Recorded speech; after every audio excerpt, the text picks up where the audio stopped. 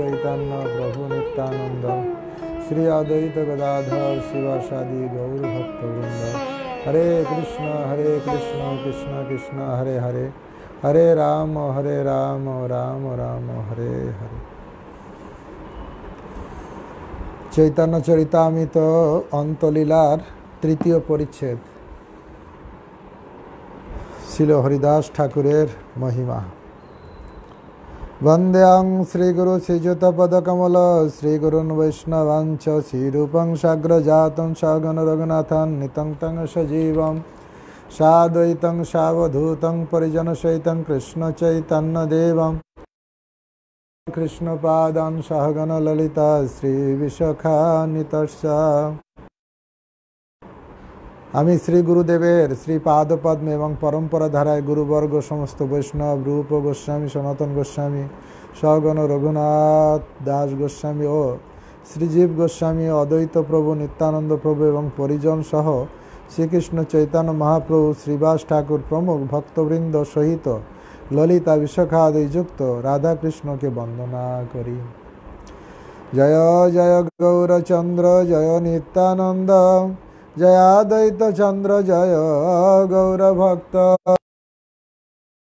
পুরুষোত্তমে কুড়িয়া, ব্রাহ্মণ কুমার।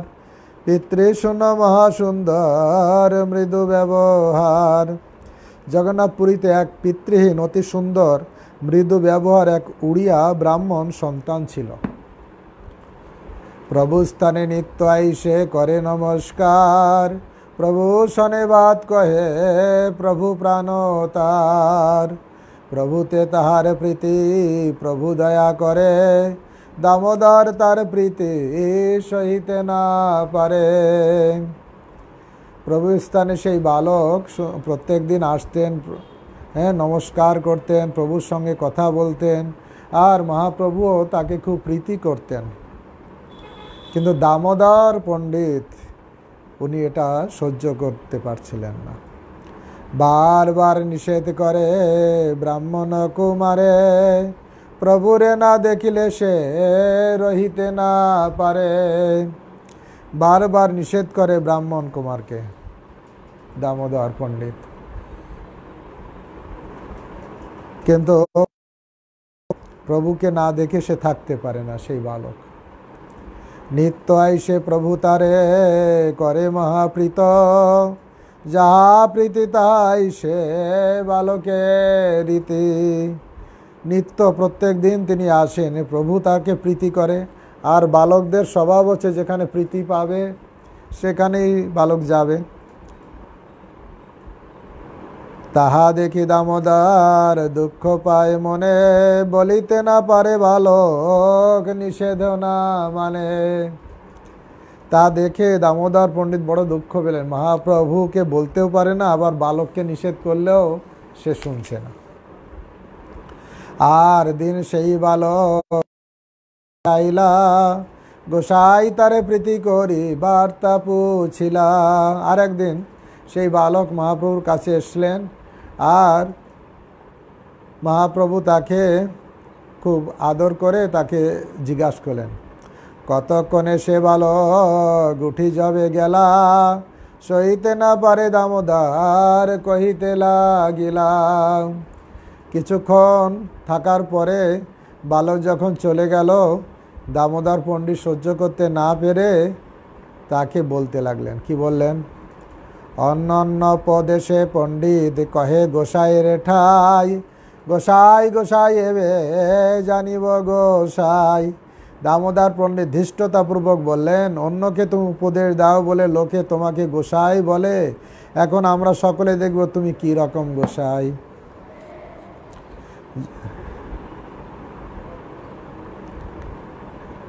এবে গোসাই, শোনো যা সব লোকে গাইবে।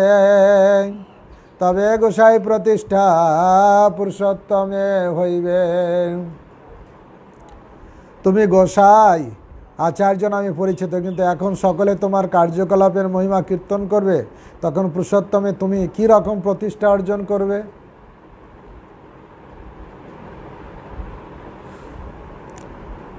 শুনি প্রভু কহে কাহা, কহ দামোদর দামোদর কহে তুমি স্বতন্ত্র ঈশ্বর। সঞ্চন্দে আচর কর, কে পারে বলিতে? মুখর জগতের মুখ পারো আচ্ছা দিতে। শুনি মহাপ্রভু বলছে, আরে দামোদর, তুমি কি বলছো? দামোদর কয়ে বলছে, আপনি হচ্ছে স্বতন্ত্র ভগবান। আপনি যেমন ইচ্ছা তেমন করতে পারেন, কিন্তু মুখে জগতের মানুষের মুখ তো আপনি আটকাতে পারেন না। পণ্ডিত হইয়া মনে কেন, বিচার না কর। রান্ডি ব্রাহ্মণীর বালকে প্রীতি কেন কর? তুমি পণ্ডিত, কিন্তু তবু তুমি কেন বিচার করে দেখো না যে এই বালকটি আগে বিধবা ব্রাহ্মণীর সন্তান এবং তার প্রতি তোমার এই প্রীতি অশোভন? যদ্যপি ব্রাহ্মণী সেই তপস্বিনী সতী, তথাপি তাহার দ সুন্দর যুবতী। যদ্যপি ব্রাহ্মণী তিনি হচ্ছেন তপস্বিনী সতী, কিন্তু তার দোষ হচ্ছে সে সুন্দরী, যুবতী। তুমিও পরম যুবা, পরম সুন্দর, লোকের কানা কানি বাতে দেহ অবসর। আর তুমিও পরম সুন্দর যুবক, তাই লোকেরা অবশ্যই তোমার সম্বন্ধে নানা কথা বলবে। কেননা তুমি তাদের এইভাবে কুচ্ছা রটনা করার সুযোগ দেবে কেন? এত বলি দামোদার মন্য হইলা, অন্তরে সন্তোষ প্রভু হাসি বিচারিলা। দামোদর চুপ কথা বলে দামোদর চুপ করে থাকলেন। তারপরে মহাপ্রভু যদিও ভিতরে খুশি হলেন, বিচার করলে, করে, তখন বললেন, ইহারে কইয়া শুদ্ধ প্রেমের তরঙ্গ দামোদর সমমর নাহি অঙ্গ, অন্তরঙ্গ। মৃদু হেসে মহাপ্রভু বিচার করলেন যে এই ধৃষ্টতা আমার প্রতি শুদ্ধ প্রেমের লক্ষণ। দামোদরের মতো অন্তরঙ্গ বধূ আমার কেউ নেই। হরি বল।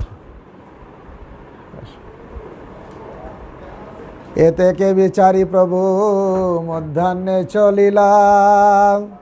আর দিনে দামোদরে নিভিতে বোলাইলাম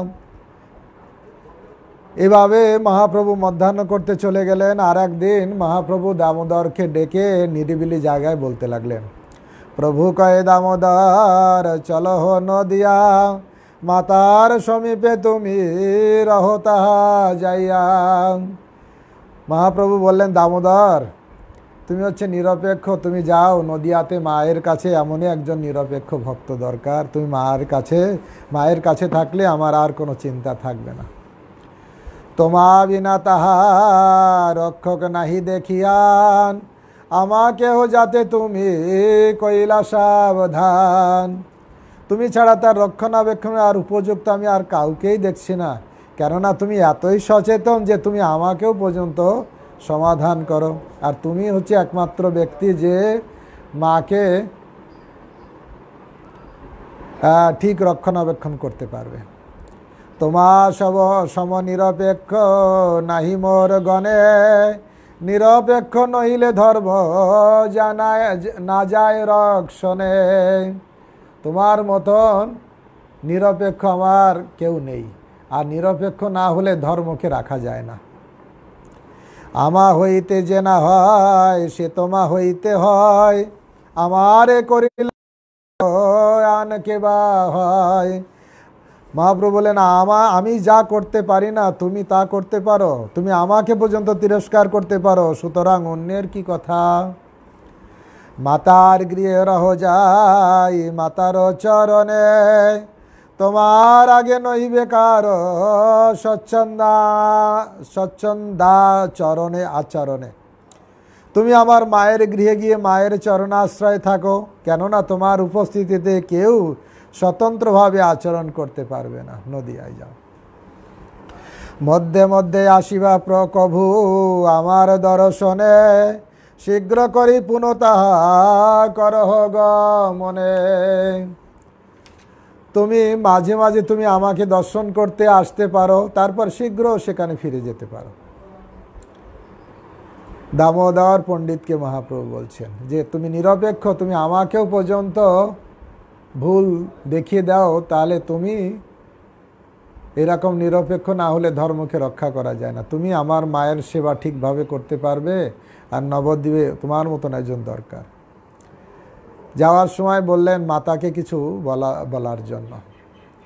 মাতাকে কহিও, মোর কোটি নমস্কারে, মোর সুখ কথা কহি, সুখ দিও তারে। মাকে বলো যে, আমার যেন, আমার কোটি নমস্কার তার, তাকে, আর আমার সুখের কথা বলে তাকে সুখ দিও। নিরন্তর নিজ কথা তোমারে শোনাইতে। এই লাগি প্রভু মোরে পাঠাইলাই হাতে। তুমি মাতা সচি মাতাকে বলবে হ্যাঁ মহাপ্রভুর কথা বলার জন্য মহাপ্রভু আমাকে পাঠিয়েছেন। তাকে বলো যে আমার কথা শুনিয়ে তাকে আনন্দ দান করার জন্য আমি তোমাকে সেখানে পাঠিয়েছি। এত কহি মাতার মনে সন্তোষ জন্মাইয় আর গুজ্জ কথা তারে স্মরণ করাইও। এইসব কথা বলে মাকে আনন্দ দিও, আর একটা গুজ্জ কথা মাকে বলো, আমি বলছি। বারে বারে আসি আমি তোমার ভবনে, মিষ্টান্ন ব্যঞ্জন সব করিয়ে ভোজনে। আমি বারবার মাকে বলো, আমি বারবার মায়ের কাছে যাই, আর তার মিষ্টান্ন ভোজন আমি পাই। আর ব্যঞ্জন, ভালো ভালো রান্না বান্না ভোজন করিয়ে আমি তুমি তা, ভোজন করিয়ে আমি তুমি তাহা জানো, বাহ্য বিরহে তাহা স্বপ্ন করি মানো। মাকে বলো যে আমি বলছি, আমি যে তার নিবেদিত ভোগ ভোজন করি, তা আমার মা জানেন, কিন্তু বাহ্য বিরহের ফলে তিনি মনে করেন যে তিনি স্বপ্ন দেখছেন।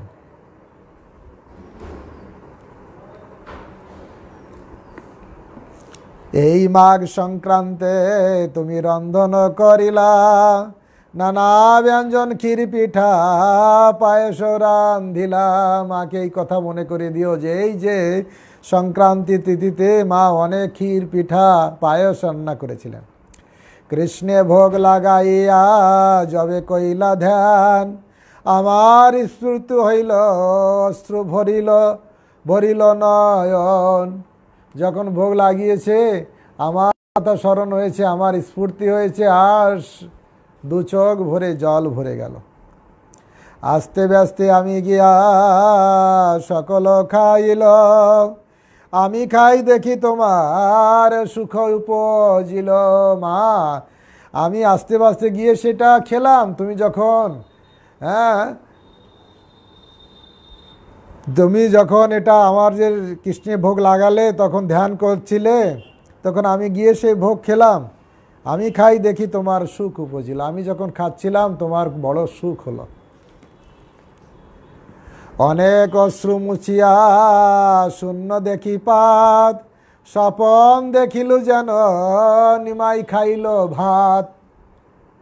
তখন চোখের জল মুছে তিনি দেখলেন যে পাত শূন্য। এবং তখন তিনি মনে করেছিলেন যেন স্বপ্নে তিনি দেখলেন যে নিমাই এসে সব কিছু খেয়ে গেছে। বাহ্য বিরহ দশায় পুনঃভ্রান্তি হইল। ভোগ না লাগাইল এই জ্ঞান হইল। বাহ্য বিরহ দশা তার পুনরায় ভ্রান্তি হলো এবং তার মনে হলো যেন তিনি বিষ্ণুকে ভোগ নিবেদনই করেননি। তারপরে আবার পাক পাত্রে গিয়ে দেখছেন পাক পাত্রে দেখিল সব অন্ন আছে ভরে পুনঃ ভোগ লাগাইলা স্থান সংস্করে রান্নাঘরে গিয়েছে যে পাত্রগুলো দেখি, সেখান থেকে আমি বেড়েছিলাম কিলাম আর দেখছে যে অন্ন ভর্তি, সবজি ভর্তি সব কিছু ভর্তি আছে। তখন মনে করছে, আরে আমি মনে হয় আজকে ভোগই লাগাইনি। আরেকটা লীলাতে সেখানে বলছি, ঈশান ঠাকুরকে ডেকে যা, তাড়াতাড়ি জায়গাটা পরিষ্কার করে। হ্যাঁ সেখানে আবার সচিমাতা ভোগ লাগালেন। পাক পাত্রে দেখিলা সব অন্ন আছে ভরি, পুনঃ ভোগ লাগাইলা স্থান সংস্কার করি। এই মতো বারবার করিয়ে ভজন, তোমার শুদ্ধ প্রেমে মরে করে আকর্ষণ। এইবার হেমা আমি বারবার যে ভোজন করি, তোমার শুদ্ধ প্রেম আমাকে আকর্ষণ করে টেনে নিয়ে যায়। তোমার আজ্ঞাতে আমি আছি নীলাচলে, নিকটে লইয়া যাও আমার তোমার প্রেম বলে। তোমার আজ্ঞা অনুসারে আমি নীলাচলে আসি, আর তোমার প্রেমের আকর্ষণে আমাকে টেনে তোমার কাছে নিয়ে চলে যাও। এই মতো বারবার করাইও শরণ মোর নাম লইয়া তার বন্দিও চরণ। এইভাবে দামোদর পণ্ডিতকে মহাপ্রভু শিখিয়ে দিচ্ছেন, তুমি আমার হয়ে মাকে এই কথা বলো। আর নাম নিয়ে আমি যে মায়ের চরণ বন্দনা করছি, সেটা জানিও যে আমার নামে তার চরণ বন্দনা করো। এত কহি জগন্নাথের প্রসাদ আনাইল মাতাকে বৈষ্ণব দিতে, বৈষ্ণবে দিতে পৃথক পৃথক দিল। এইভাবে মহাপ্রভু কি হচ্ছে? জগন্নাথে প্রসাদ আনালেন। মায়ের জন্য আলাদা, আর অন্যান্য ভক্তদের জন্য আলাদা করে বেটে দিলেন। তবে দামোদর চলি নদিয়া ইলা মাতারে মিলিয়া তার চরণে রহিলা। মহাপ্রভুর আদেশ অনুসারে দামোদর পণ্ডিত নবদ্বীপে চলে আসলেন আর সচী মাতার চরণ বন্দনা করে তার চরণেই থেকে গেলেন। আচার্যাদি বৈষ্ণবের মহাপ্রসাদ দিলা, প্রভুর জয়ছে আজ্ঞা পণ্ডিত, তাহাই আচরিলা। অদ্বৈত আদি আচার্য, অদ্বৈত আদি ভক্তদের তিনি মহাপ্রসাদ দিলেন। মহাপ্রভু যে আচরণ করতে বলেছেন, সেই অনুসারে তিনি আচরণ করলেন। দামোদর আগে স্বতন্ত্র না হয় কাহার। তার ভয়ে সবে করে সন্তোষ ব্যবহার। দামোদর পণ্ডিত নিরপেক্ষ। আর তার সামনে কেউ তার স্বতন্ত্র ব্যবহার করতে পারবে না, শাস্ত্র অনুসারে ব্যবহার করতে হবে। প্রভুগণে যারে দেখে অল্প মর্যাদা লঙ্ঘন বাক্যদণ্ড করি করে, মর্যাদা স্থাপন। কেউকে দেখে যদি কেউ কাউকে একটু মর্যাদা লঙ্ঘন করছে, যে যে লেভেলে আছে তাকে সেইভাবে সম্মান করছে না। তখন দামোদর পণ্ডিত তাকে বাক্যদণ্ড, কেন? তোমার ছোট নাকি? তোমার তো বড়, তুমি কেন তাকে সম্মান দিচ্ছ না? এভাবে দামোদর পণ্ডিত শিক্ষা দেন। দান করে মর্যাদা স্থাপন করতেন। এই তো কহিল দামোদরের বাক্যদণ্ড, যার শ্রবণে ভাগ্যে, শ্রবণে ভাগে অজ্ঞান পাষণ্ড হ্যাঁ যার শ্রবণ করলে হৃদয়ের অজ্ঞানতা পাষণ্ড ভাব ভেগে যায়, ভেগে, ভাগে অজ্ঞান পাষণ্ড চৈতন্য লীলা, চৈতন্যের লীলা, গম্ভীর কোটি সমুদ্র হইতে কি লাগি কি করে? না পারে বুঝিতে। চৈতন্য লীলা হচ্ছে গম্ভীর। কোটি সমুদ্র হইতে গম্ভীর। কি জন্য, কোন লীলা কি জন্য করেন? বলা মুশকিল। অতএব গুড়ো অর্থ কিছুই না জানি।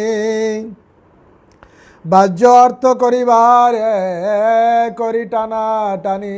কবিরাজ গোস্বামী দৈনতা বশত বলছেন, মহাপ্রভুর লীলা তো গম্ভীর কোটি সমুদ্রের মতন।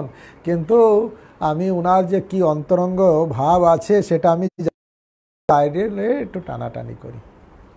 এই জন্য চৈতন্য লীলা বোঝা অনেক সময় মুশকিল হয়ে যায়। ছোট্ট হরিদাসকে কেন অল্প অল্প ভুলে গুরুদণ্ড দিলেন, অনেকেই প্রশ্ন করছেন, কিন্তু এখানে কবিরাজ গোস্বাই বলছেন, যে চৈতন্য লীলা গম্ভীর কোটি সমুদ্র সম, তাকে বোঝা কে বুঝিতে পারে? অতএব গুরু অর্থ কিছুই না জানি। হ্যাঁ কবিরাজ গোস্বামী দৈন্যতাবশত বলছেন, উনি এরকম বলছেন মানে আমা, আমার মতন যারা তাদেরকে শিক্ষা দিচ্ছেন, আসলে এই গুঁড়ো অর্থ কিছুই না জানি। বাহ্য অর্থ করিবারে করি টানাটানি। অর্জনের সময় আমার মতন যেমন, আমরা বুঝি না, কিছু একটা বলে দিলাম। যে অর্থ টানি এবার শুরু হবে হরিদাস ঠাকুরের নির্যান তিথি।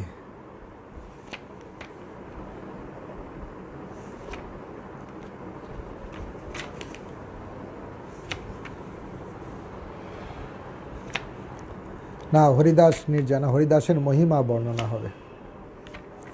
হরিদাস ঠাকুরের যে কত মহিমা হ্যাঁ সেটা বর্ণনা করা হবে। এটা হরিদাস হরিদাস ঠাকুরের মহিমা। আর একাদশ অধ্যায় যে হরিদাস ঠাকুরের নির্যান হবে, অপ্রকট লীলা তৃতীয় অধ্যায় হরিদাস ঠাকুরের কি কি মহিমা, নামের আচার্য হরিদাস, তার যে কত মহিমা সেটা বর্ণনা আমরা এখন শুনব। একদিন একদিন প্রভু হরিদাস ঠাকুরকে মিলিত হলেন, গোষ্ঠী করে তারে। ইষ্টগোষ্ঠী করে তাকে হরিদাস ঠাকুরকে কিছু জিজ্ঞাসা করলেন।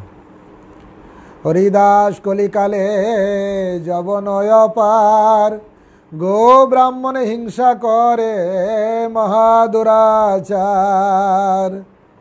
হরিদাস, কলিকালে অধিকাংশ মানুষই বৈদিক সংস্কৃতি বিমুখ, জবর।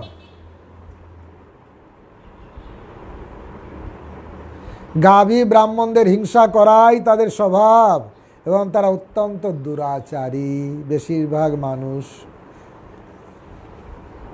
ইহা সবার কোন মতে হইবে নিস্তার। তাহার এত না দেখিয়ে দুঃখ অপার। এইসব যারা বৈদিক সংস্কৃতি বিমুখ, যারা গাভী ব্রাহ্মণকে অত্যাচার করে, তাদের এই কলিকালে তাদের উদ্ধার কি করে হবে? তাদের কথা চিন্তা করে আমার বড় দুঃখ হয়। দেখুন, গৌরাঙ্গ মহাপ্রভু মানুষের দুষ্কর্মের জন্য তাদের জন্য দুঃখ করছে না। তাদের এই দুষ্কর্মের ফলে কি কি করে উদ্ধার হবে? হরিদাস কয়ে, প্রভু, চিন্তা না করিহ। যবনের সংসার দেখি, দুঃখ না ভাবিও। হরিদাস ঠাকুর উত্তর দিলেন, প্রভু, তুমি দুশ্চিন্তা করো না। এই জগৎ জবনে ভরে গেছে দেখে তুমি দুঃখ, দুঃখিত হইও না।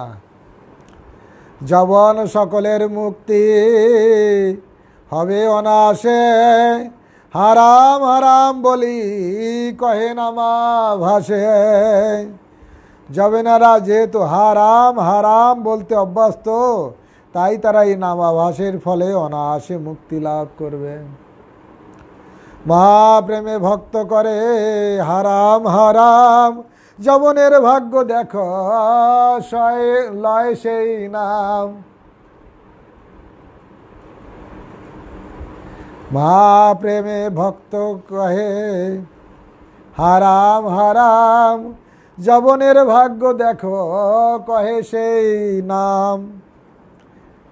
যখন রামচন্দ্রের মহান ভক্ত, তারা মা রামের বিরয়ে হারাম হারাম বলে, আবার যবনেরা দেখো তাদের কি ভাগ্য, তারাও সেই নাম লয়। যদ্যপি অন্য সংকেতে অন্য হয় নামাভাস তথাপি নামের তেজ না হয় অবিলাস নামাচার্য দাস ঠাকুর বললেন, ভগবানকে সম্বোধন না করে যদি অন্য কিছুকে সংকেত করে ভগবানের দিব্য নাম উচ্চারণ করা হয়, তাহলে তাতে নামাভাস হয় কিন্তু তবুও তাতে নামের অপ্রাকৃত তেজ বিনষ্ট হয় না। দ্রষ্টি দ্রষ্টা হত ম্লেচ্ছ হার আমেতে পুনঃ পুনঃ উত্তক্তপি মুক্তি মাপনতি কিম পুনঃ শ্রদ্ধয়া। কোন ম্লেচ্ছ বরাহ কর্তৃক দন্তাঘাত প্রাপ্ত হয়ে ঘৃণাপূর্বক হারাম হারাম এই শব্দটি বারবার উচ্চারণ করে মৃত্যুর সময় মুক্তি লাভ করেছিল। অতএব যারা শ্রদ্ধা সহকারে এই নাম উচ্চারণ করে, তাদের কি কথা? অজামিল পুত্রে বলায় বলি নারায়ণ বিষ্ণুদূত আসি ছাড়ায় তাহার বন্ধন অজামিল ছিল মহাপাপী, কিন্তু মৃত্যুর সময় সে তার কনিষ্ঠ পুত্রকে সম্বোধন করে নারায়ণ নাম উচ্চারণ করেছিল এবং তার ফলে বিষ্ণুদূতেরা এসে তাকে যমরাজের বন্ধন থেকে মুক্ত করেছিল।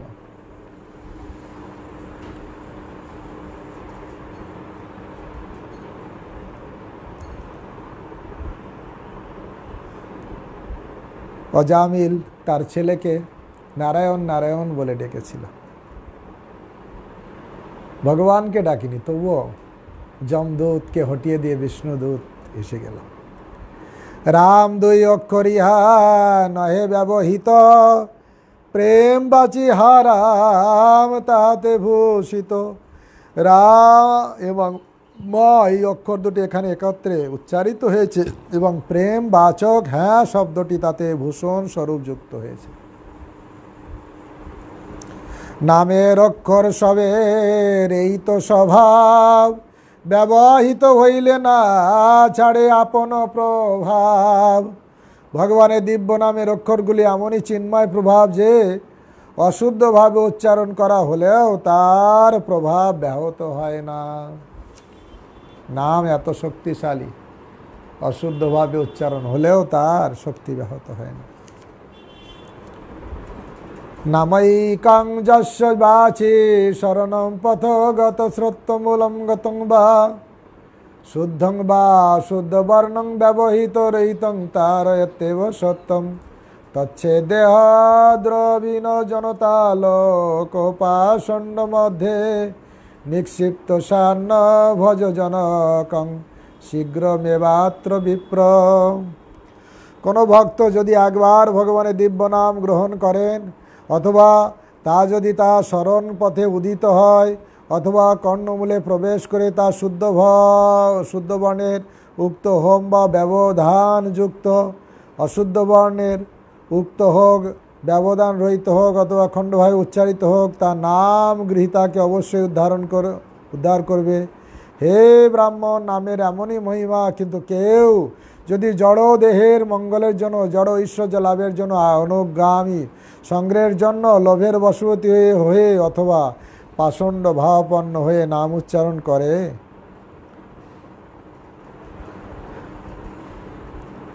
যদি অপরাধযুক্ত হয়ে নাম গ্রহণ করে, তাহলে নামের অপ্রাকৃত ফল শীঘ্রই লাভ হয় না। তাই নিষ্ঠা সহকারে নাম অপরাধ বর্জন করা উচিত। নামাভাস হইতে হয় সর্ব পাপ ক্ষয়।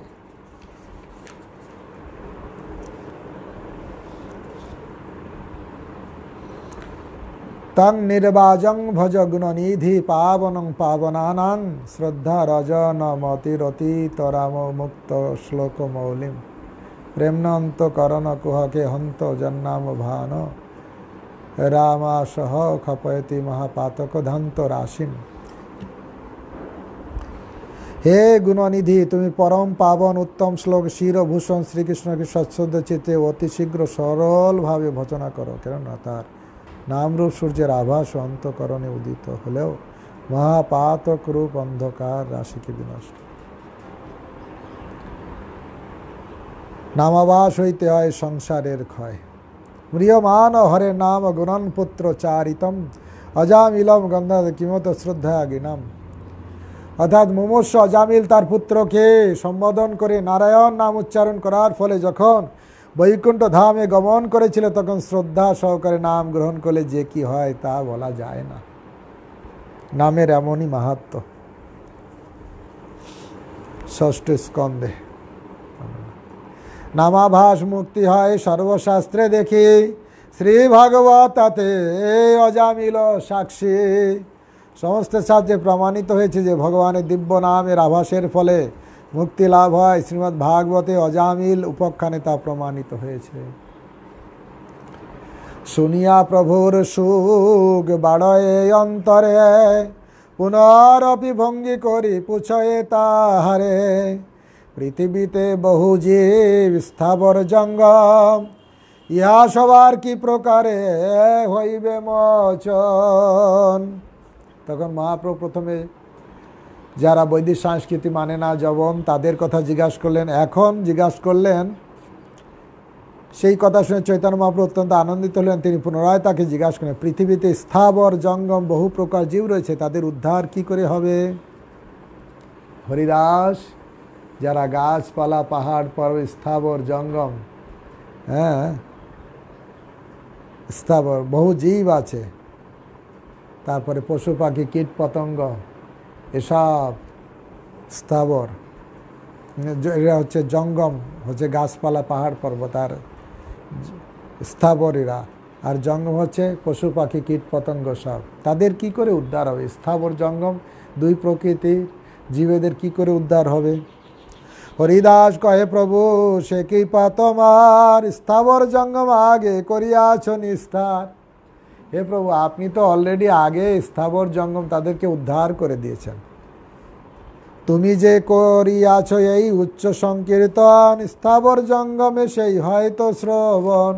তুমি উচ্চ করে সংকীর্তন করেছ, তা শ্রবণ করার ফলে স্থাবর এবং জঙ্গম সকলেরই পরমঙ্গল সাধিত হয়। শুনিয়া জঙ্গমের হয়, সংসারের ক্ষয় স্থাবরে যে শব্দ লাগে, প্রতিধ্বনি হয়। জঙ্গমের শুনে সংসার ক্ষয় হয় আর স্থাবর গাছে একটা শব্দ লাগল প্রতিধ্বনি। মনে হয় যেন গাছ আবার বলছে। প্রতিধ্বনি নয় সেই করয়ে কীর্তন, তোমার কৃপায় এই অকত্য কথন। এটা শুধু প্রতিধ্বনি নয়, এটা সেসব তারা স্থাবর, তারা কীর্তন করছে। সকল জগতে হয় উচ্চ সংকীর্তন। শুনিয়া প্রেমা বেশে নাচতে স্থাবর জঙ্গম সারা পৃথিবীতে। হরিনাম হচ্ছে হরে কৃষ্ণ হরে কৃষ্ণ কৃষ্ণ কৃষ্ণ, হরে হরে হরে রাম হরে রাম রাম রাম, হরে হরে। জয়ছে কৈলা ঝাড়িখণ্ডে, বৃন্দাবন যাইতে। বলভদ্র ভট্টাচার্য কইয়াছে আমাতে বলভদ্র ভট্টাচার্য আমাকে বলেছে, যেভাবে আপনি ঝাড়িখণ্ডের পথ দিয়ে যখন বৃন্দাবনে যাচ্ছিলেন, কি লীলা হয়েছিল সেটা বলছেন। বাসুদেব জীব লাগি কইল নিবেদন, তবে অঙ্গীকার কইলা জীবের মোচন। তোমার ভক্ত বাসুদেব দত্ত যখন জীবের উদ্ধারের জন্য তোমার পাদপদে বিনতি নিবেদন করেছে, তখন তুমি প্রতিজ্ঞা করেছে যে তুমি সমস্ত জীবদের উদ্ধার করবে।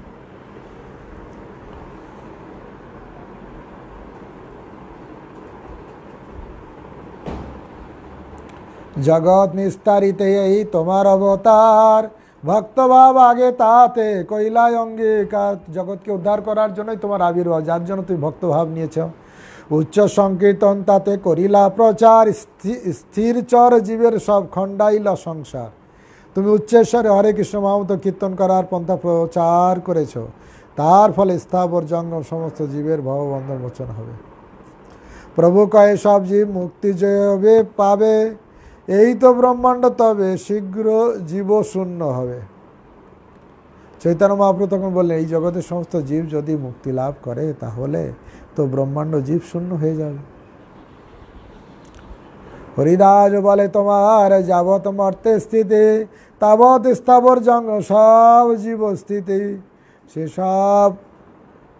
সব মুক্ত করি তুমি বৈকুণ্ঠে পাঠাইবা, সূক্ষ্ম জীবে পুনঃকর্মে উদযাপন করিলা, করিবা। তুমি তাদের ভিতর মনের প্রেরণা দিয়ে জীবকে স্থাব পাঠাইবা। সেই জীব হবে ইহা স্থাবর জঙ্গম, তাহাতে ভরিবে ব্রহ্মাণ্ড যেন পূর্ব সম এইভাবে আবার অন্যান্য লোক থেকে তুমি তাদের অনুপ্রেরণা দেবে এই লোকে আসার জন্য। এভাবে পুরো ব্রহ্মাণ্ড পরিপূর্ণ হয়ে যাবে।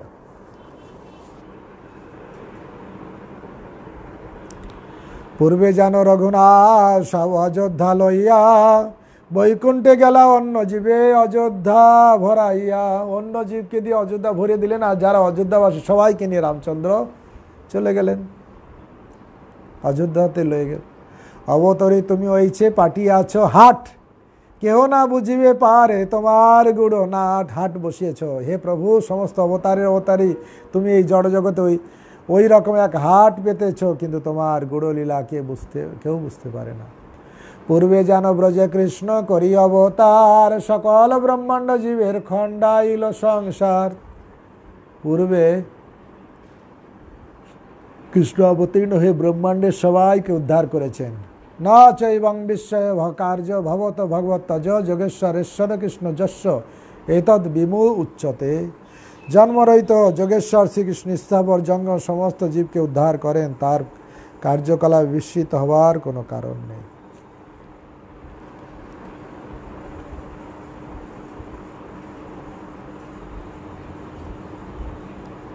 অয়ং হি ভগবান, সৃষ্ট কীর্তিনং সংস্থিত দেশানুবন্ধন অক্ষ খিল সুরাসুরাদি দুর্লভং ফলম প্রচ্ছতে কিমুচ্ছ সম ভক্তি মনন যারা বিশ্বের ভা, বিদ্যের ভাপন হয়েও পরমেশ্বর ভগবানকে দর্শন করে, মহিমা কীর্তন করে অথবা স্মরণ করে, তারাও যখন সমস্ত সুর অসুরদেরও দুর্লভ ফল লাভ করেন, তখন যারা সর্বতয় ভগবানের প্রেমময় সেবায় যুক্ত হয়েছেন, তাদের সম্বন্ধে আর কি বলার আছে? তো ইচ্ছে তুমি নবদ্বীপে করি অবতার, সকল ব্রহ্মাণ্ড জীবের করিলা নিস্তার। হরিদাস ঠাকুর মহাপ্রভুকে বলছেন, ঠিক সেই রকম, আপনি নবদ্বীপ অবতীর্ণ হয়ে সমস্ত জীবদের উদ্ধার করেছেন। যে কহে চৈতন্য মহিমা, মোর গোচর হয়, সে জানুক মোর পুনঃ এই তো নিশ্চয়। যে জানে গৌরাঙ্গের মহিমা গৌরাঙ্গের মহিমা আমি জেনে ফেলেছি, সে জানুক মোর পুনঃ কিন্তু আমার কি নিশ্চিত হয়? তোমার যে লীলা মহা সমুদ্রের সিন্ধু, মোর মন গোচর নহে তার এক বিন্দু। সে জানে জানুক, কিন্তু আমার মনে হয় কি? অমৃতের সিন্ধু তোমার লীলা, আর মোর মনোগোচর নহে তার এক বিন্দু। সেখানে আমার এক বিন্দু কাজ করছে না। এত শুনি প্রভুর মনে চমৎকার হইল। মর গুড় লীলা হরিদাস কেমনে জানিল? আমার গুড় লীলা হরিদাস কি করে জানলো? মহাপ্রভু ভাবলেন, মনের সন্তোষে তারে কইলা আলিঙ্গন বাহ্যে প্রকাশিতে এসব করিলা বর্জন। এই শুনে হরিদাস ঠাকুরকে মহাপ্রভু আলিঙ্গন করলেন, তাকে সেই তত্ত্ব বাহিরে প্রকাশ করতে নিষেধ করলেন। যে মহাপ্রভুর কথা বলেছে, যেমন রামচন্দ্র সবাইকে নিয়ে গেছেন, মহাপ্রভু নিয়ে যাবেন। উদ্ধার তো হয়ে গেছে। সেই জন্য হরিদাস ঠাকুরকে বললেন, তুমি কথা কাউকে বলো না। ঈশ্বর স্বভাব ঐশ্বর্য চাহে আচ্ছা দিতে, ভক্ত ঠাই লোকাইতে না না রে, হয়তো বিদিতে পরমেশ্বর ভগবানের সবই এইরকম, তিনি তার ঐশ্বর্য লোকাতে চান, কিন্তু তার ভক্তের কাছে তিনি লোকাতে পারেন না, তার কাছে সব প্রকাশ হয়ে যায়। লঙ্ঘিতাত্রী বিধ সীম সমাতি সাই সম্ভাবনং তব প্রবিব্রভি স্বভাবম, মায়া বলেন ভবতাপি নিজ্জমানম পশ্যন্তি কে তদন্য ভাব হে ভগবান, সমস্ত জড়বস্তু, দেশকাল ও চিন্তা ও চিন্তা এই তিনটি সীমার দ্বারা আবদ্ধ। কিন্তু তবুও তোমার অসীম অনতিক্রম বৈশিষ্ট্যের দ্বারা তুমি নিজ শক্তির দ্বারা আচ্ছাদিত করো। কিন্তু তবুও তোমার অন্য অন্য ভক্তেরা সর্বদা তোমাকে দর্শন করতে সমর্থ। তবে মহাপ্রভু নিজ ভক্ত পাশে যাইয়া হরিদাসে গুণ কয়ে শতমুখ হইয়া, তবে তার ভক্তদের শতমুখ হলেন। ভক্তের গুণ কহিতে প্রভুর বাড়ায় উল্লাস, ভক্তগণ শ্রেষ্ঠ তাতে শ্রী হরিদাস। ভক্তদের মহিমা কীর্তন করে শ্রী চৈতন্য মহাপ্রভু অধিক থেকে অধিকতর আনন্দ আস্বাদন করেন। তার ভক্তদের মধ্যে ছিল হরিদাস ঠাকুর সর্বশ্রেষ্ঠ। হরিদাসের গুণগণ অসংখ্য অপার কেহ কোন অংশে বর্ণে নাহি পায় পার। হরিদাস ঠাকুরের অপ্রাকৃত গুণাবলী অসংখ্য অপার। আংশিকভাবে বর্ণনা করা যায়, কিন্তু তার সমস্ত গুণ কেউ বর্ণনা করতে পারে না। চৈতন্য মঙ্গলে শ্রী বৃন্দাবন দাস, হরিদাসের গুণ কিছু করিয়াছে প্রকাশ। চৈতন্য ভাগবতে বৃন্দাবন দাস ঠাকুর, হরিদাস ঠাকুরে অনেক গুণগান করেছেন। সব কহা না যায়, হরিদাসের চরিত্র, কেহ কিছু কহে করিতে আপন পবিত্র। সব বলা যায় না, কিন্তু কেউ কিছু বলে নিজেকে পবিত্র করার জন্য। বৃন্দাবন দাস যাহা না কইল বর্ণন, হরিদাসের গুণ কিছু শুনো ভক্তগণ। হরিদাসে যবে নিজ গৃহ ত্যাগ কইলা, বেনাপলে বন মধ্যে কতদিন রহিলা। নির্জন বনে কুটির করি তুলসী সেবন রাত্রে দিনে তিন লক্ষ নাম সংকীর্তন। হরিদাসের মহিমা বর্ণনা করতে যে কবিরাজ গোস্বামী বলছেন, বৃন্দাবন দাস ঠাকুর অনেক কিছু বলেছেন, কিন্তু আমি অল্প কিছু বলছি, এটা বলা হয়নি। তাই হরিদাস ঠাকুর, তিনি কি করলেন? তিনি বেনাপোলে নির্জন স্থানে তুলসী সেবা করতে লাগলেন, তিন লক্ষ নাম জপ করতে শুরু করলেন বেনাপোলে। কতদিনে এসে সেখানে তার কুটির করে সেখানে নির্জনে ভজন করতে লাগলেন তুলসীর সেবা করতে লাগলেন।